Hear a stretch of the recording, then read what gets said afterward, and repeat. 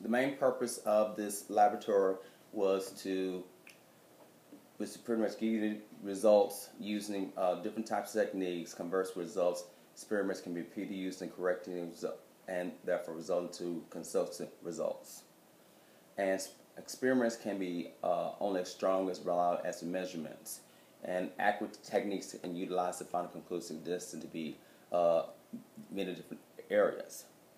Like for instance, when I was trying to do the measurements for the uh, key, if I do believe if I have a capillary ruler type of ruler, it probably would have worked better.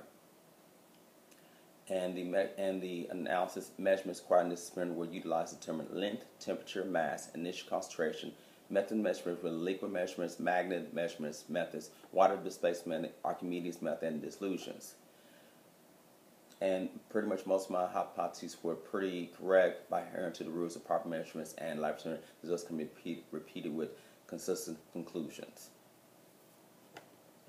Thank you very much. This is Rob Polk signing off.